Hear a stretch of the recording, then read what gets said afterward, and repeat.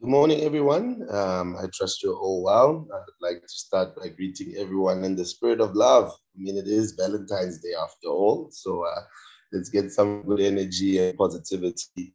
And I'm looking excited. I'm looking forward rather to this presentation. So, welcome to the Plumbing Industry Business 101 webinar. And um, I'll just go straight into it. Um, ladies and gentlemen, just a brief, simple introduction of who I am. I go by the name of Rendani Chivula and I'm a former professional rugby player. Let's not even get into rugby. It was a tough week for my Pretoria team, but uh, it's okay.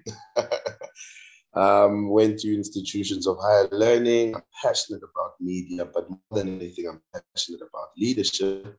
I'm a professional MC, and I've consulted for various um, industries, such as the mining industry. I'm super blessed to be part of this industry, which is the plumbing industry. And I guess in the presentation, you'll guess you'll get to understand as to why I say I'm blessed. So the purpose of this presentation, and I must just give a quick disclaimer, I'm not going to be rushing through it, but I'm not going to be covering all the slides that are in here because you'll see as we go through, I will just explain, and I'll probably be covering some of the other slides on the basis of this time, of but the purpose of this is to ensure that you understand your role as a role player within the plumbing industry. I think it's quite critical to make you understand that your role has a magnifying effect. You know, it's a domino effect. So if you play it effectively, you'll add tremendous value. And to make you understand the importance of digitizing and adapting to the fourth industrial revolution. Now, I know some of you are probably going, oh no, there we go again. Trust me, I'm going to try and explain this in the most simplest form, but to make you understand the value you can get out of this. And ultimately, the purpose is to make you reach your maximum capacity in your overall performance as a role player, which will ultimately assist in reaching maximum capacity for us as an industry. We want to go for gold. You know, we can't settle for number two because no one remembers number two. But jumping into it, my role as a the uh, in the plumbing industry. I'm currently the public relations and stakeholder engagement manager. Now, this is just to obviously give you an understanding of what PR is about, but I'd like you to go to that third paragraph where it says, in simple terms. You know, my role here and amongst the people who are also within my team is to shift perception and build the brand. You know, we're here to change the perception of the industry.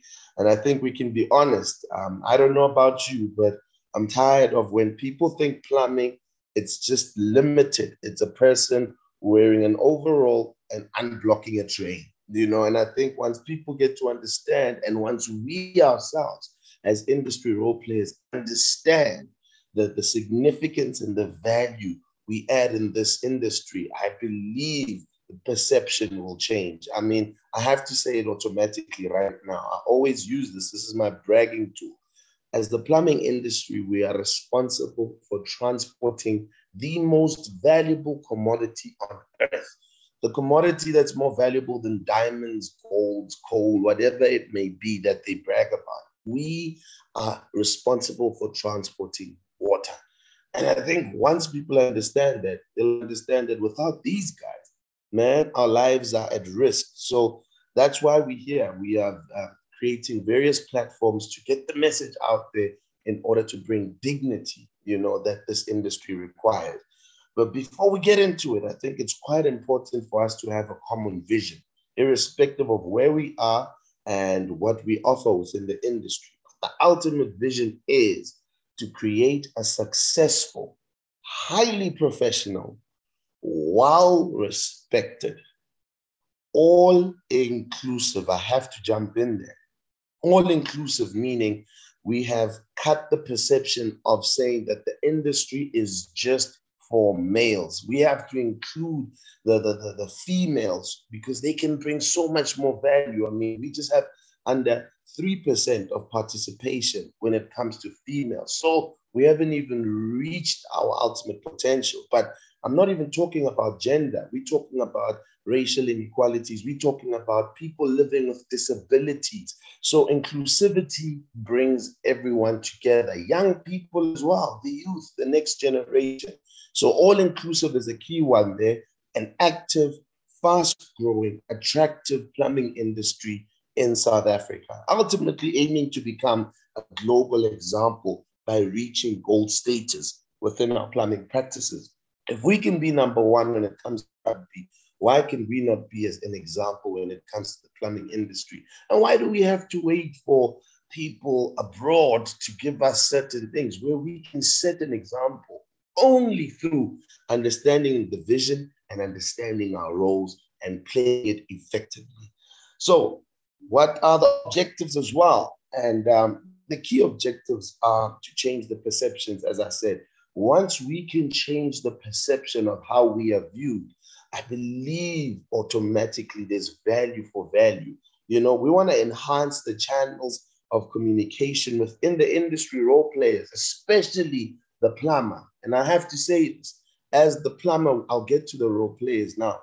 As the plumber, you're a significant part of the role players. You are the heartbeat, and you'll get to understand why. But enhancing the exciting vision around the plumbing industry that will encourage, inspire activity in reaching that vision. And what I mean by that is everyone can add value, can contribute into the desired outcome, the vision. And it's not just necessarily limited to certain people or you know certain levels. I think everyone can add value there. That's participation. And introducing the next generation of plumbers aligned to the main vision of the industry.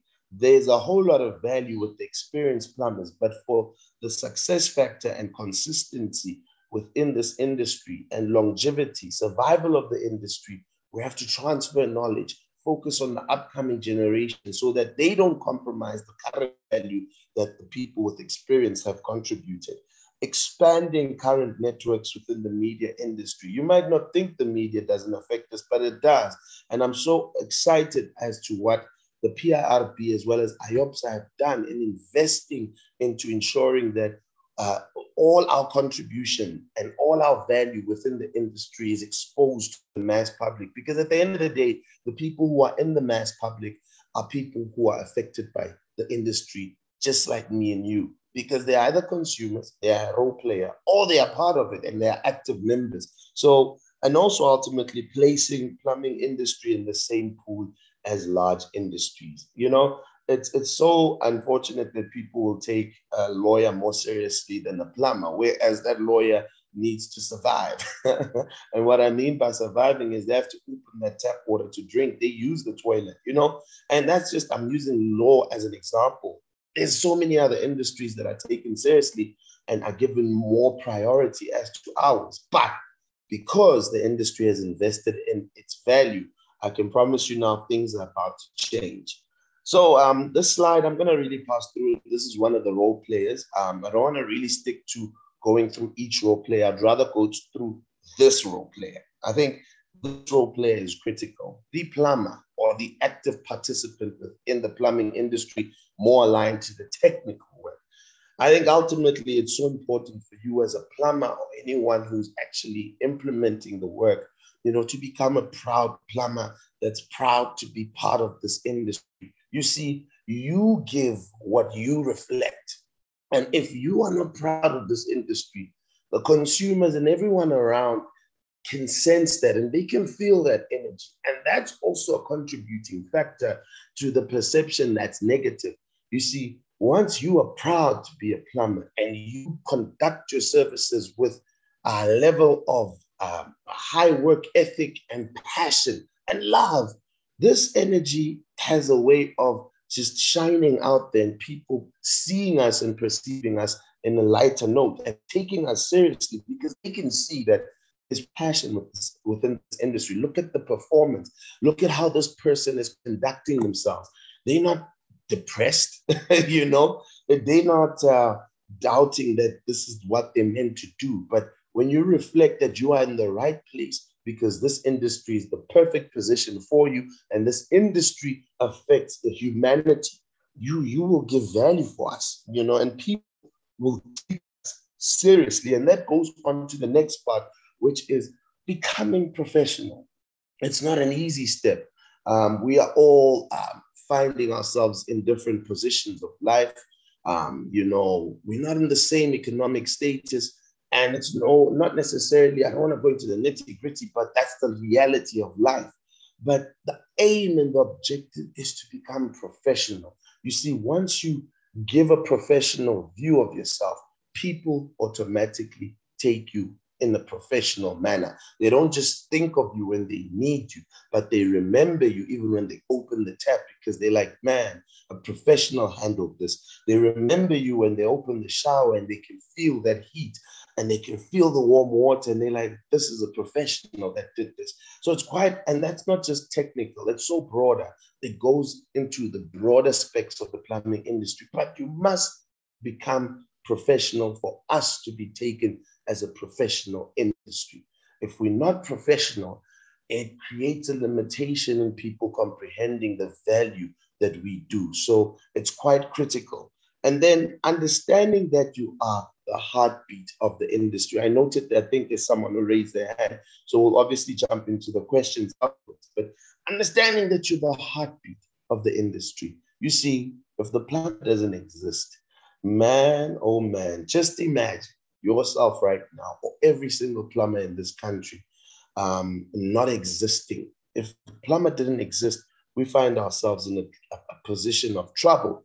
And it, you can we can look at all the other role players, consumers, government, private sector, all of that. We can look at that, but they don't have the role to play if the plumber is not in its role and its perfect position. So it's quite important that you remember you give life to this industry. If you are not doing it perfectly, you are creating distortion and uh, becoming qualified and registered. That gives credibility. You know, yes, our stats aren't uh, showing the majority, but we are growing and we're getting somewhere. And it's also important to celebrate the small wins. And more than anything, meeting the standards and becoming ethical in your work making sure that you know you don't compromise. Not even when people are not watching. You never compromise. And ensuring that we're up to standard because that shows that hey there's quality assurance that gives the consumer peace and the rest of the role players also are at ease. And just remember this ultimately you're an ambassador of this industry. If you don't see yourself as that unfortunately then we go back to point one. It means you're not proud to become part of this industry. You're an ambassador. You're not small. You are a big, significant part. And if we cut you out, we compromise ourselves. Moving on to the next slide, just to give you a basic outlook of what we do, you know, as the marketing, PR, and what our plans are for the industry at large. It's reputation management, you know, that's perception shifting. This whole thing of people limiting what we can do and what we offer to the, the public at large. We are there to correct that narrative. You know, internal support for people like yourselves, where you find uh, things challenging, where you've got your industry organizations that are there to assist. And commercializing and digital media, that's so important. We, you'll see in uh, my next slides that we have invested in getting the message out there, the value out there. And that's going to obviously uh, uh, connect to role play engagements, search engine optimization, brand perception value. Let's forget the big words. Ultimately, we are investing in growing this industry internally and externally. Now, visions and goals. The first one I mentioned, changing the perception around the plumbing industry, enhancing the channels of communication within the industry role players. I think we've identified that maybe communication has been a bit of an issue, but that's universal. That's not just within our industry. But the good thing is, if we can notice it, it means there's interest. And that's going to enhance activity. We just need to control the information flow and making sure that participation is there. And then creating an exciting vision around the industry. Ultimately, it's what we said in that first slide, where you have to add some value, bring your contributions. It's not limited to certain people. You can play the part in sharpening the vision as well introducing the next generation, expanding the current networks, and placing the plumbing industry in the same pool as large industries. Value, value, value. Now, here's the value proposition. I did say it earlier. We transport the most important commodity on earth. Do you understand that we are linked to all industries? We are the reason why humanity survives. If there's any distortion in the services we offer, there could be a huge complication when it comes to life. We've just experienced COVID 19. Now imagine if plumbers globally decided to make a strike or take a strike for a day, just one day, let alone an hour. You think about what could happen. And I think when people can understand that, that's when automatically they, they see the value we bring. We're connected to all the industry. There's no industry that can tell us we're not connected to them, you know? And I've always shared this question to the industry, um, um, I guess, industry experts that what is our contribution to our economy? Every industry brags about, and this is homework for you as well. Every industry brags about we've added 18% to the GDP in 2021. We need to get that stat because that's a bragging right. That's going to give us more value. So that's a task to experts, but that's also a task to you. You know, play with your thoughts and see where how much we think about how much value we bring and contribute. But what we offer in the industry and what people know about our industries are miles apart. And that's what we're trying to do here. We're trying to make people understand that, hey, there's so much value. Steve, Steve Brown always says, you know, we've got so, and Brendan as well, and that he always says, we, we do so much for the industry, but only we know. You know, the people out there don't know. And that's why people like myself, as well as other people that have been brought within the industry, experts that are good at getting the message out, have been invested in so that the industry can get value out of that. Here's a nice one. We are a solution to the National Development Plan. I didn't say a solution for all, but I believe we're part of the solution. We bring opportunity, value from an employment angle. We must be honest. You know, young people haven't really been given the opportunity to understand how great this industry is. Hence, they don't make this industry their first option, neither their second option. Usually, I'll be a plumber if things didn't work out. You know, and I think we're going to see a ripple effect of passionate young people coming in and literally becoming a part of this industry. But we are also a solution because there's so many opportunities. I say this all the time. I don't like this example of I want a piece of pie. No, no, no. Get that mindset out. In this industry, we've got baking powder. Man, we've got flour, we've got chicken, we've got peppers. We make pies. There's more than enough. There's a technical side to it. There's an administrative side to it. There's an entrepreneurial side to it. The opportunities are endless. This is the longest lasting industry and will probably be the industry that will be there for as long as humankind exists. So there's no limitation. There's enough for everyone. But we inform and protect the consumer and we empower the plumber. And I want to jump into, I'm going to skip these. I want to go straight into this section, which is so important. And uh, this one, the fourth industrial revolution, digitizing. Ladies and gentlemen, this word gives people, you know, one gets nervous as soon as they hear this. 4IR, 4IR. Um, Facebook. Is he talking about Facebook again? No, I'm not talking about Facebook per se. I'm talking about an, uh, a revolution that's taking place globally that's going to affect all industries. And yes, it has to do with either your phone or your laptop, but it's moving away from writing everything. It's getting communication across quicker, getting messages across quicker. And it's so important that we adapt to this. And I'll give an example. When you listen to, we've been on the road shows last, and when you mention to some of the plumbers, hey, um, can you just give me your email? They would be saying, I don't have an email. Ah, you know, or can you go onto our Facebook just to get some more information? Like, I don't have a Facebook account. And I know we live in times where different generations lived in different generations and different times and different things we used. We used the typewriter, then had a PC, now they're laptops, but things evolve. And if you want to adapt and grow quicker, you need to make sure you at least are trying. You know, you cannot let intimidation break you down from opportunity. The first IR isn't as easy as it seems, but it's not as difficult as it seems. It's just like driving a car. At some point, we didn't know how to step and balance the clutch with the brake, and it was so intimidating. But until we got into it, that's when you realize, oh, I do have the ability to do this. I'll say, I'll give an example. Sending an email is just an advanced form of SMS that can be sent to even more people than just the people you can send into an SMS. And this time you can have an attachment in there. You know, going onto websites, creating a website, digitizing your company, you will reach so many more people by just trying and investing into this. The fourth industrial revolution, digitizing era. Right now, imagine if you are making a profit and you haven't even invested in your marketing on Facebook and Instagram. So it means you're doing okay, but you haven't reached your maximum potential. And what I will say is, you'll never know how to swim until you get to the deep side. At some point, we were all at risk in drowning, but we took, you know, caution. We were very cautious. And that's the approach you should take.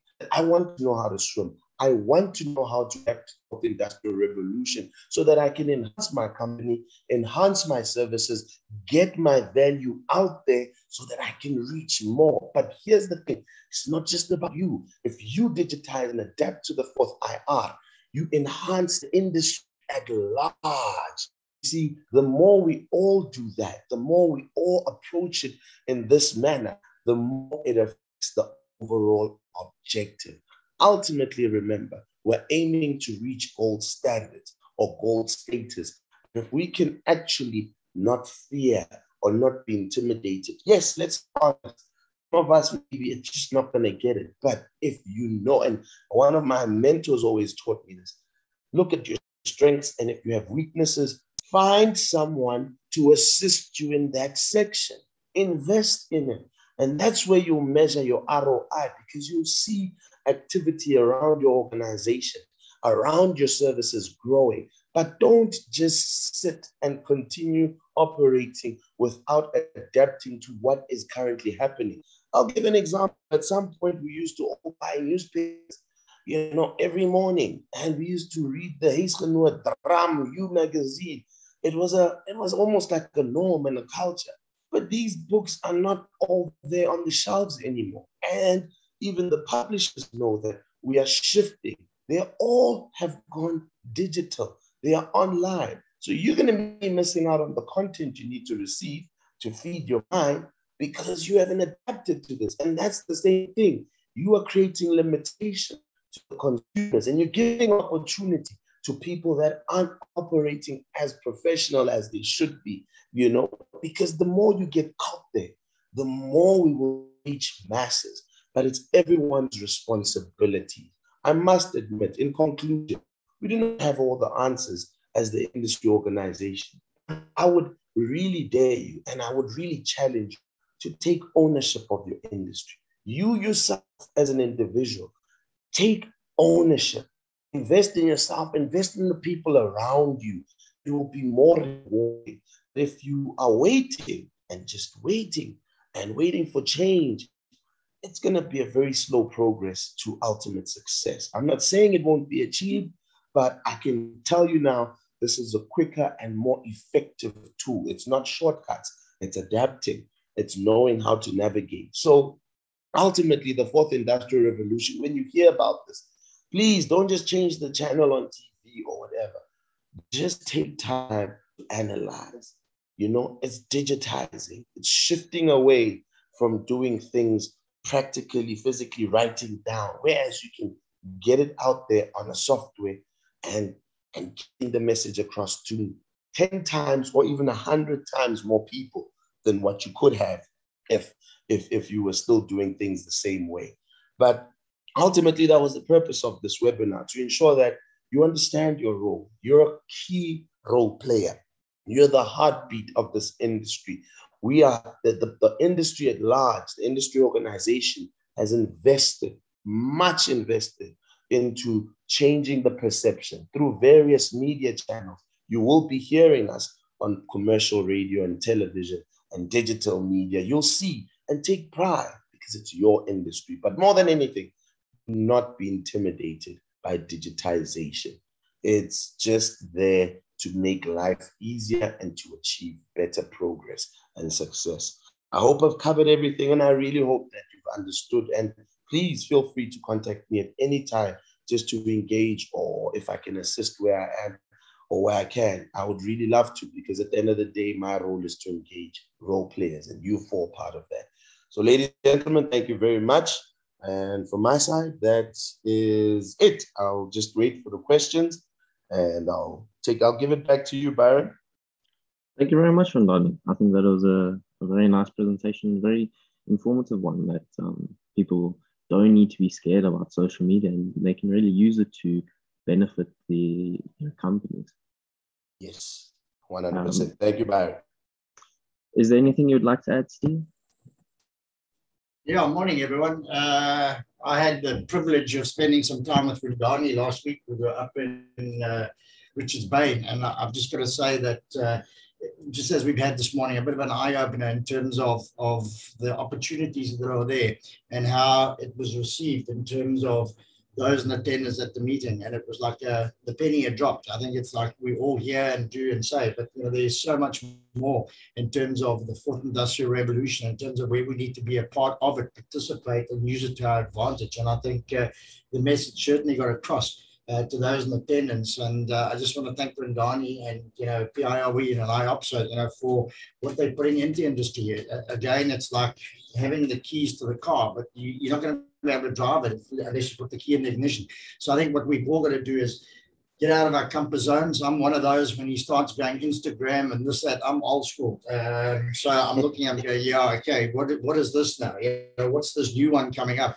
But, uh, you know, I'll come home and ask the grandkids or the kids and say, what's this that Donnie was talking about? So it's about opening up our minds, opening up opportunities. And the world is, is, is very small when it comes to the technology that's there.